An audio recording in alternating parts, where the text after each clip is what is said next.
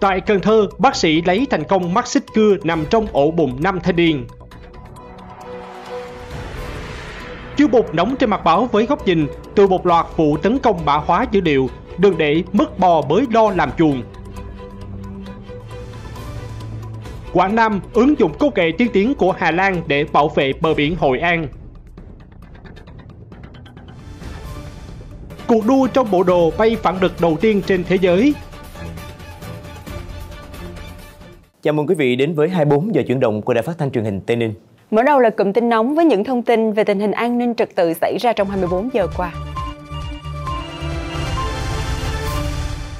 Thưa quý vị, cơ quan cảnh sát điều tra công an thành phố Lào Cai cho biết đã thi hành lệnh giữ người trong trường hợp khẩn cấp đối với Hà Thị Ngọc, sinh năm 2002, có hành vi lừa đảo chiếm đoạt tài sản bằng hình thức tạo hóa đơn giả qua điện thoại để mua hàng.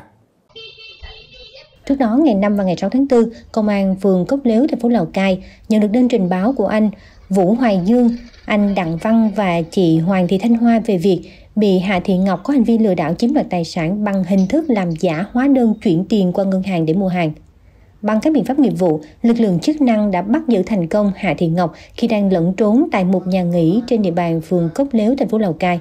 Tại cơ quan công an, bước đầu Ngọc khai nhận do cần tiền tiêu xài cá nhân nên Ngọc đã chụp mã QR của các cửa hàng trên địa bàn thành phố Lào Cai rồi gửi cho người tên Hoài quen biết qua mạng xã hội để làm giả các giao dịch chuyển khoản qua ngân hàng với trị giá 2 triệu đồng, mua quần áo ở quán của anh Vũ Hoài Dương, tạo hóa đơn 650.000 đồng để trả tiền quán cơm của anh Đặng Văn Dương và tạo hóa đơn 1 triệu đồng để mua ví của chị Hoàng Thị Thanh Hoa. Cơ quan cảnh sát điều tra công an thành phố Lào Cai đang tiếp tục củng cố hồ sơ để điều tra, làm rõ và xử lý đối tượng theo quy định của pháp luật. Ngày 8 tháng 4, Bệnh viện Đa khoa Trung ương Cần Thơ cho biết các bác sĩ khoa ngoại tổng hợp vừa lấy thành công một mắt xích máy cưa nằm 2 tuần trong ổ bụng nam bệnh nhân 19 tuổi do tai nạn lao động. Nam bệnh nhân NHT sinh năm 2005 ngụ Kiên Giang được người nhà đưa đến Bệnh viện Đa khoa Trung ương Cần Thơ trong tình trạng đau bụng trên nhiều, xuất phát từ vết thương thượng vị nghi ngờ có dị vật. Trước đó 2 tuần, bệnh nhân sử dụng máy cưa cầm tay loại mắt xích cắt gỗ thì máy bị kẹt, đứt xích, mắt xích bắn xuyên bụng. Sau tai nạn, người nhà đưa bệnh nhân đến khám điều trị ở cơ sở y tế địa phương, nhưng tình trạng đau hạ sườn phải ngày càng tăng nên đưa đến Bệnh viện Đa khoa Trung ương Cần Thơ điều trị. Ngay khi nhập viện, các bác sĩ chụp các lớp vi tính bụng có cản quang, ghi nhận dị vật kim loại dưới gan phải kích thước 2 x 1 cm, áp xe hạ sườn phải kích thước 5 x 3 cm, bệnh nhân chỉ định phẫu thuật nội soi lấy dị vật. Sau phẫu thuật, thời gian phục hồi của bệnh nhân tùy thuộc vào thời điểm can thiệp. Nếu không phát hiện sớm hoặc xử lý kịp thời, thời gian càng kéo dài nguy cơ khối áp xe lớn dần, biến chứng càng nghiêm trọng gây thủng tạng, viêm phúc mạc, nhiễm trùng, nhiễm độc nặng.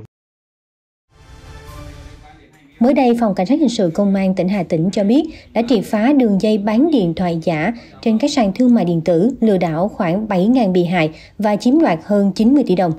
Công an Hà Tĩnh đã khởi tố vụ án khởi tố 22 bị can về hành vi lừa đảo chiếm đoạt tài sản thu giữ 20 máy tính các loại, khoảng 3.000 chiếc điện thoại giả, chất lượng kém mà các đối tượng sử dụng để thực hiện hành vi phạm tội. Phát hiện đường dây lừa bán điện thoại giá rẻ trên các nền tảng mạng xã hội với giá chỉ từ 1 triệu 500 ngàn đồng đến 2 triệu 500 ngàn đồng. Công an tỉnh Hà Tĩnh đã huy động 50 cán bộ chiến sĩ chia thành 9 tổ công tác tổ chức phá án trên địa bàn thành phố Hà Nội và thành phố Thanh Hóa, bắt giữ 9 đối tượng, Cầm đầu đường dây là Đặng Thị Thêm, sinh năm 1995, cùng chồng Lê Quang Vinh, sinh năm 1993. Mở rộng đấu tranh chuyên án, công an tiếp tục bắt giữ Bùi Thị Hương, sinh năm 1981 và khám xét kho hàng của Hương tại khu đô thị Văn Canh, Hoài Đức, Hà Nội. Công an Hà Tĩnh đang hoàn thiện hồ sơ để xử lý các đối tượng theo đúng quy định của pháp luật.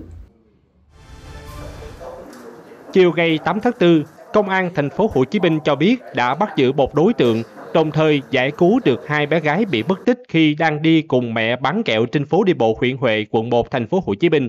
Qua trình báo của chị Nguyễn Thị Chi bị thất lạc hai con gái trên phố đi bộ huyện Huệ, Công an thành phố Hồ Chí Minh đã vào cuộc điều tra. Qua đó, công an phát hiện vào khoảng 20 giờ 30 phút ngày 3 tháng 4, một đối tượng nữ là Phạm Huỳnh Nhật Vi, cư trú tại Tiền Giang, đã lợi dụng lúc hai bé không có người trông coi, tiếp cận dẫn dụ đi theo Bình qua diệu tuyến đường ở quận 1 sang quận 8, sau đó đặt xe taxi công nghệ đưa hai cháu bé về khống chế tại chung cư Sài Gòn Pên, quận Bình Thạnh.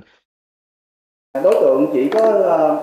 à, có việc là, là sử dụng cái lợi ích vật chất để mà dẫn dụ các cháu bé thôi. Còn về thì đối tượng vẫn có, có thực hiện cái việc là là, là sử dụng lợi ích vật chất liên quan về cái vấn đề à, đồ ăn rồi tiền à, tiền bạc rồi để là à, dẫn dụ. Còn ngoài ra thì đối tượng không có bảo hành à, về cái à, đối với hai cái à, em này ngay sau đó, lực lượng công an đã khống chế đối tượng Phạm Huỳnh Nhật Vi và giải cứu hai bé gái an toàn, đồng thời tiếp tục củng cố tài liệu chứng cứ để xử lý Kim theo đúng quy định.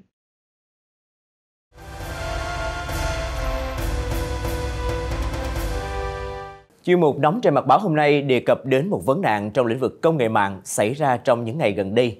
Thưa quý vị, chỉ trong thời gian ngắn, hàng loạt vụ tấn công mã hóa dữ liệu nghiêm trọng xảy ra đối với các tổ chức, doanh nghiệp tại Việt Nam liên quan tới các lĩnh vực chứng khoán, năng lượng, viễn thông, y tế. Cục An toàn Thông tin, Bộ Thông tin và Truyền thông đã phát đi cảnh báo các vụ tấn công mạng đang có xu hướng tăng cao, sự gia tăng về tần suất, mức độ tinh vi của các cuộc tấn công mạng, đặc biệt là các sự tham gia của các nhóm tội phạm lớn quốc tế đã đặt các hệ thống thông tin của các tổ chức doanh nghiệp luôn ở trong tình trạng có thể bị tấn công bất cứ lúc nào. Ngày 24 tháng 3, hệ thống chứng khoán VN Direct bị tấn công 10 ngày sau đó, ngày 2 tháng 4, Tổng công ty dầu Việt Nam PVOI cũng gặp sự cố tương tự. Hình thức tấn công của tin tặc trong các vụ việc vừa qua tương đối giống nhau, tấn công nằm vùng một thời gian, sau đó thực hiện bạ hóa dữ liệu tống tiền. Cái cuộc tấn công này đa phần là từ uh, những cái phần mềm lậu ở trên mạng mà người sử dụng họ tải về, tức là bị nhiễm ờ, ransomware rất là nhiều, bị mất thông tin dữ liệu và hầu như là có một số doanh nghiệp cũng ờ, đang phải rất là vất vả trong cái việc là khôi phục dữ liệu sau những cái cuộc tấn công như vậy. Theo các chuyên gia, hiện nay mã độc tống tiền được cung cấp như một dịch vụ rao bán trên các chợ đen. Khi các công cụ tấn công được phổ cập dễ dàng, số lượng người tham gia tấn công kiếm tiền sẽ tăng lên rất nhiều. Trong 1 tới 2 năm tới, đây sẽ là mối quy lớn cho các tổ chức doanh nghiệp. Trong cái chuỗi tấn công của ờ, tội phạm mạng ấy, thì có những cái công việc nó đã được chuyên môn hóa và những kẻ tấn công sẽ không cần phải biết cái cách lập trình ra cái mã độc mà có thể đơn thuần là chỉ mua và sử dụng lại những cái mã độc hoặc từ những cái bên chuyên cung cấp những cái mã độc đó. À, chính vì thế cái cuộc tấn công ờ, trong cái bối cảnh hiện tại các cuộc tấn công mạng nó sẽ thực hiện nó dễ dàng hơn. Mặc dù nhận thức về đảm bảo an ninh mạng của các doanh nghiệp tổ chức tại Việt Nam đã nâng cao đáng kể, tuy nhiên việc triển khai các giải pháp đề phòng vẫn chưa thực sự tương xứng, thậm chí không có cơ chế để đầu tư cho lĩnh vực này. Khi xảy ra sự cố tấn công mất dữ liệu hoặc sập hệ thống thì thiệt hại không thể lường trước được. Chúng ta sẽ cần phải trang bị những hệ thống về giám sát an ninh mạng thì à, để với mục tiêu là khi mà hacker xâm nhập thì chúng ta có thể phát hiện ra một cách sớm nhất. Bên cạnh đó thì chúng ta cũng phải thiết lập các hệ thống dự phòng để trong trường hợp mà có sự cố xảy ra thì chúng ta có thể thực hiện việc chuyển sang hệ thống dự phòng để ngay lập tức là có thể hoạt động được cái dịch vụ và không bị gián đoạn. Theo thống kê, mỗi 11 tới 14 giây, một tổ chức mới trên toàn cầu trở thành mục tiêu của tấn công mã hóa dữ liệu. 73% số vụ tin tặc đã mã hóa thành công dữ liệu, trong khi chỉ có 27% các tổ chức chọn trả tiền chuộc, nhưng không phải lúc nào cũng nhận lại được dữ liệu hoàn toàn. Để hạn chế rủi ro thì nâng cao nhận thức và củng cố hệ thống an ninh mạng là việc làm cần thiết và cấp bách đối với mọi tổ chức và cá nhân khi tham gia vào môi trường số. Có thể thấy trong kỷ nguyên số, các cơ quan, tổ chức, doanh nghiệp phải từng ngày, từng giờ đối mặt với các mối đe dọa, những nguy cơ mất an toàn, an ninh thông tin không ngừng gia tăng trên không gian mạng. Tại Việt Nam thì an ninh mạng cũng ngày càng phức tạp, tần suất tấn công trong đó có tấn công mã hóa dữ liệu dồn dập và nhằm vào các đơn vị có hệ thống trọng yếu bởi bỏ quên tài sản công nghệ thông tin, không nâng cấp, vá lỗi và vô tình trở thành bàn đạp cho tin tặc xâm nhập. Vâng, Chính vì vậy, thưa quý vị, mất bò mới lo làm chuồng là điều không nên làm trong thời buổi công nghệ thông tin ngày nay. Nếu có tài sản từ tiền, thông tin, dữ liệu mà bỏ quên, không được bảo vệ thì cực kỳ nguy hiểm.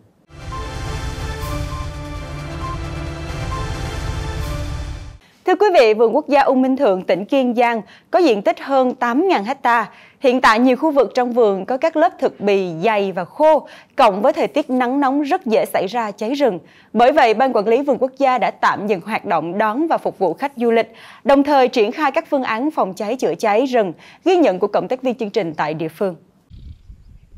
Dự báo mùa khô năm nay sẽ diễn biến gay gắt và xảy ra hiện tượng El Nino trong tháng 4. Nguy cơ cháy rừng là rất cao. Lãnh đạo Vườn Quốc gia U Minh Thượng cho biết, hiện nay cảnh báo cháy rừng trên các khu vực bờ đê là cấp 4 cấp nguy hiểm, khu vực dưới rừng nguy cơ cháy rừng cấp 3, cấp dễ xảy ra cháy rừng. Vườn Quốc gia U Minh Thượng đã lập 5 đội thường trực phòng chống cháy rừng với hơn 70 người.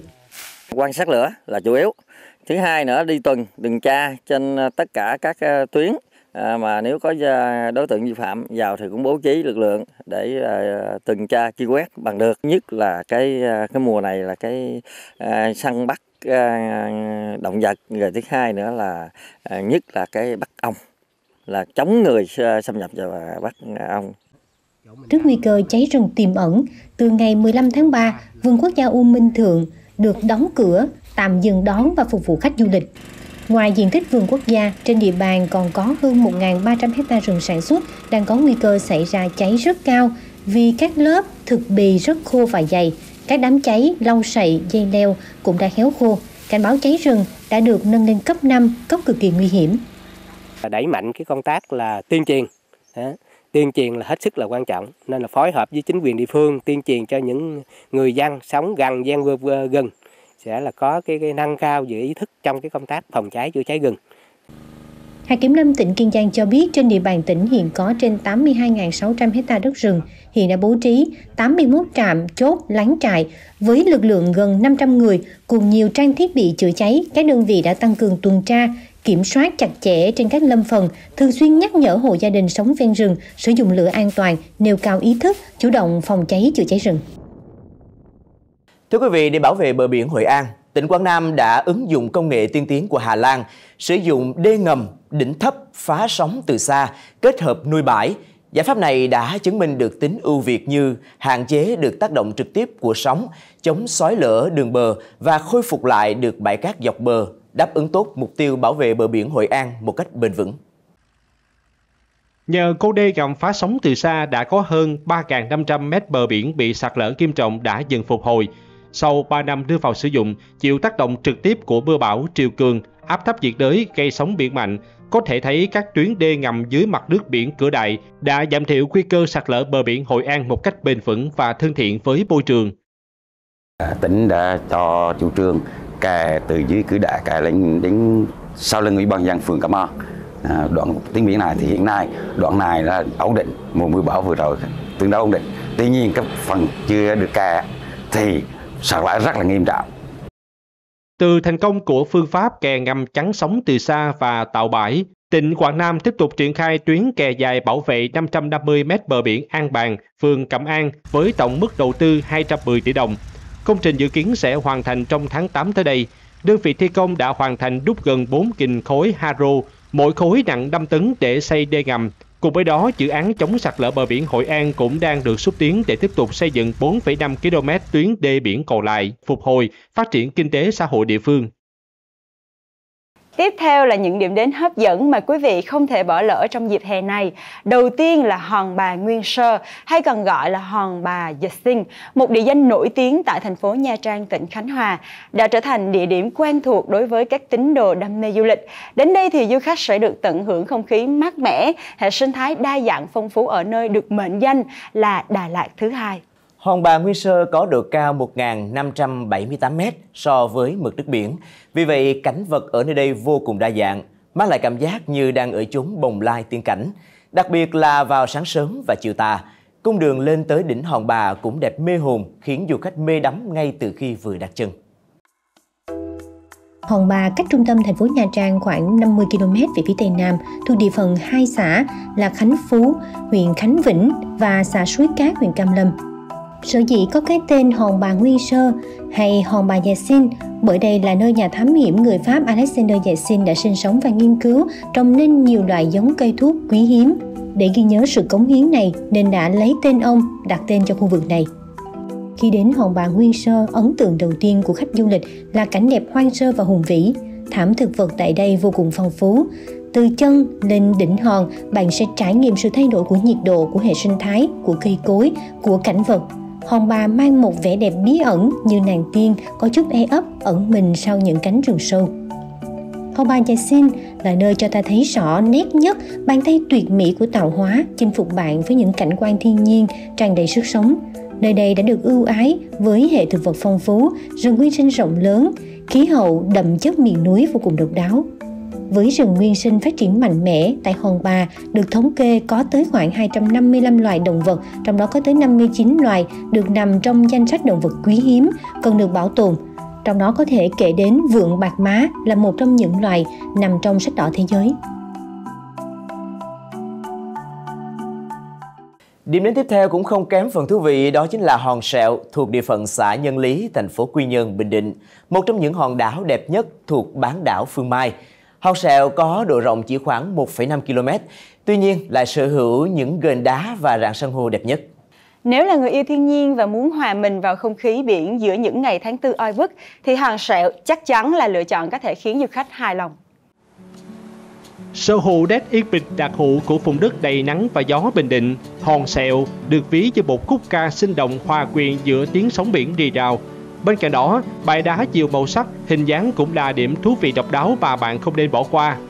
Chính những điều nhỏ yên bình này là nét đặc trưng khiến Hòn Sẹo trở nên xinh đẹp và thu hút trong mắt hàng ngàn du khách ghé thăm mỗi năm. Nằm ngay cửa dòng hải lưu biển Hòn Sẹo chịu ảnh hưởng của các cửa biển Đề Ghi và Vịnh Xuân Đài thường xuyên hình thành những dòng xoáy ngầm cực sâu và chính bên dưới vùng nước này các rạn san hô tuyệt đẹp đã phát triển dần theo năm tháng.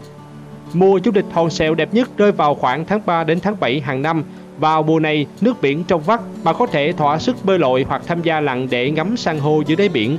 Với lợi thế là nguồn hải sản tươi ngon, dồi dào, các món ăn ở đây là một trong những điểm thu hút khách du lịch bởi sự hấp dẫn đa dạng. Phần tin quốc tế gây chú ý, mới đây công viên giải trí đầu tiên trên thế giới cung cấp những trải nghiệm nhập vai sống động đã mở cửa đón du khách tại một khu thương mại nổi tiếng ở thủ đô Tokyo, Nhật Bản. Tọa lạc tại khu vực đảo nhân tạo Odaiba, công viên Immersive Frost Tokyo có diện tích lên tới 30.000 m2. Tập đoàn Cantana, đồng thời là chủ đầu tư dự án, cho biết công viên sở hữu 11 điểm tham quan độc đáo, cho phép du khách bước vào thế giới hư cấu được tái tạo lại của các nhân vật trong hàng loạt tiểu thuyết và phim hoạt hình nổi tiếng. Trẻ em dưới 3 tuổi được miễn phí, trong khi giá vé cho trẻ từ 4 đến 11 tuổi là 3.000 yên, tức là 20 đô la Mỹ, và giá vé cho người trên 12 tuổi là 6.800 yên, tức là 45 đô la Mỹ. Việc xây dựng Imise Fox là một trong những chiến lược của tập đoàn Cantana với mong muốn tăng cường sự hiện diện của mình trong lĩnh vực kinh doanh công viên giải trí.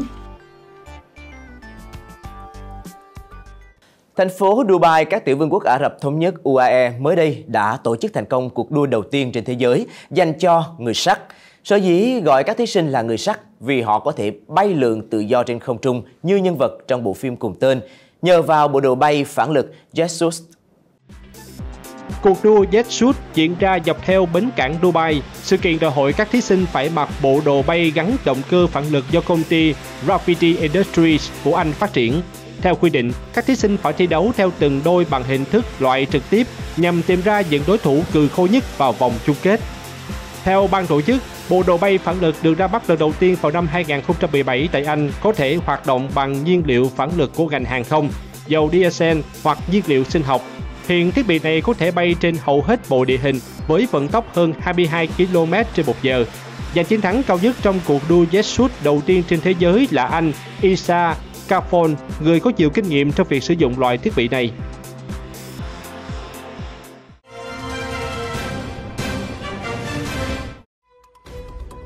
Trong phần tiếp theo của 24 giờ chuyển động, triệt phá đường dây tính dụng đen do người nước ngoài cầm đầu thu lợi khủng. Chuyên mục chuyên nghe mới, lan tỏa sâu rộng nghĩa cử cao đẹp hiến máu cứu người,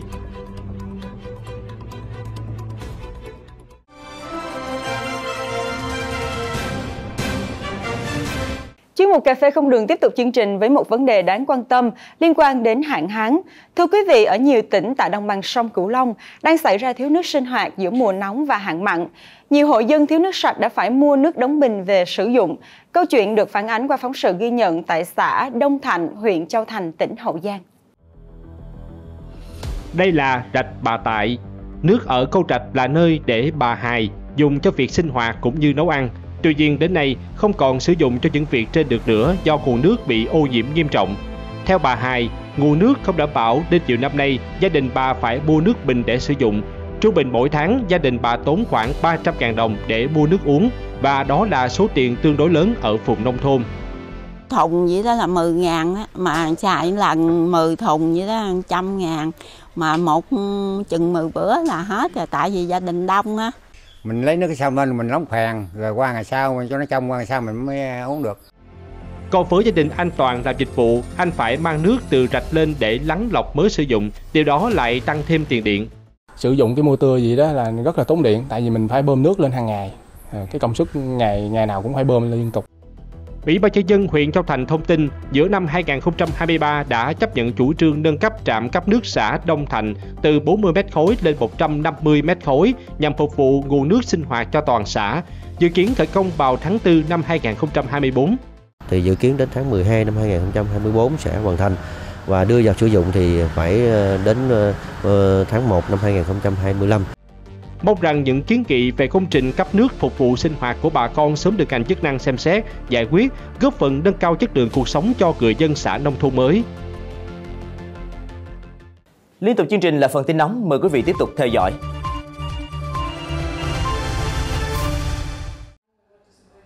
Chiều ngày 8 tháng 4, Cục Cảnh sát hình sự Bộ Công an cho biết vừa phối hợp với các cục nghiệp vụ Công an Thành phố Hồ Chí Minh và Công an tỉnh Khánh Hòa triệt phá băng nhóm tội phạm do đối tượng người nước ngoài cầm đầu sử dụng công nghệ cao hoạt động tín dụng đen. Các đối tượng cho vay với lãi suất từ 365% đến 1.971% một năm, ước tính số tiền thu lợi bất chính lên đến hàng nghìn tỷ đồng. Qua công tác quản lý địa bàn, Cục Cảnh sát Hình sự phát hiện hai đối tượng quốc tịch Ukraine là bugaki Timu sinh năm 1990 và Ravojit Irima sinh năm 1985 nhập cảnh Việt Nam nên phối hợp với các cục nghiệp vụ và công an thành phố Hồ Chí Minh, công an tỉnh Khánh Hòa tiến hành bắt giữ khám xét 4 công ty tại thành phố Hồ Chí Minh. Cục cảnh sát hình sự xác định đường dây tội phạm trên do đối tượng Kater Richard Roman sinh năm 1986 quốc tịch Ukraine cầm đầu, cấu kết với Lê Thanh Huỳnh Cang và Nguyễn Thị Nhất Phương cùng ngụ thành phố Hồ Chí Minh để hoạt động tín dụng đen qua app hoặc website. Các đối tượng xét duyệt quy trình cho vay từ 500.000 đồng đến vài chục triệu đồng bằng nhiều phần mềm cho đối tượng người nước ngoài viết với lãi suất từ 365% đến 1.971% một năm. Đến thời điểm hiện tại, Cục Cảnh sát Hình sự đã triệu tập 63 đối tượng lên làm việc, thu giữ nhiều đồ vật tài liệu có liên quan để tiếp tục điều tra vụ việc. Chiều ngày 8 tháng 4, một vụ tai nạn giao thông nghiêm trọng đã xảy ra trên quốc lộ 14 đoạn qua huyện Bù Đăng, tỉnh Bình Phước giữa xe khách dừng nằm và xe tải khiến một tài xế bị thương, hàng chục hành khách bị bộ phen hoảng loạn. Quốc lộ 14 kẹt xe nhiều km. Thông tin ban đầu, xe tải biển số 48H01803 lưu thông trên quốc lộ 14 hướng từ thành phố Hồ Chí Minh đi tỉnh Đắk Nông Đến km 25 thuộc thôn Bình Trung, xã Nghĩa Bình, huyện Bù Đăng, bất ngờ va chạm với xe khách giường nằm 47F 00173. Trên xe chở hàng chục hành khách lưu thông theo chiều ngược lại.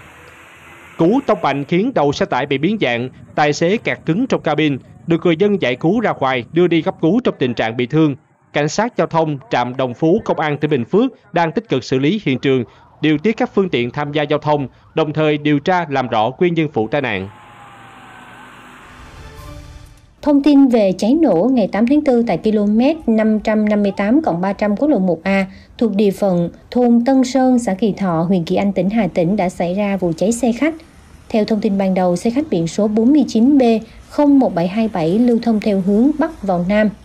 Khi đến gần tổ tuần tra kiểm soát, cảnh sát giao thông công an tỉnh đã phát hiện thấy có khói bốc lên từ khoang chứa hành lý.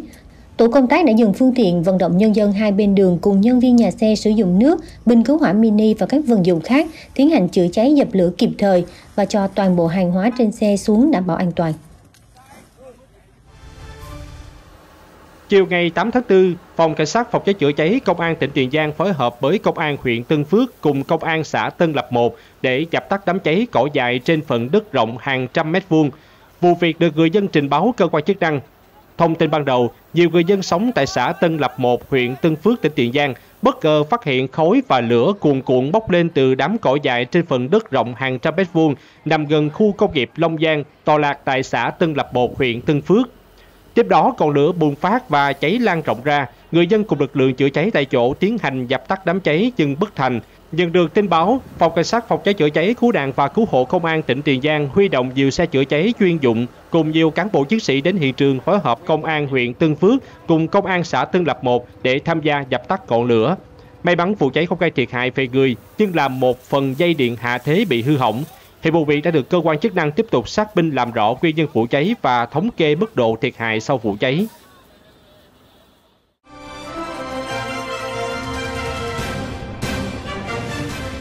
Quý vị thân mến, hiến máu cứu người là một nghĩa cử cao đẹp, thể hiện truyền thống tương thân tương ái, thương người như thể thương thân của dân tộc ta,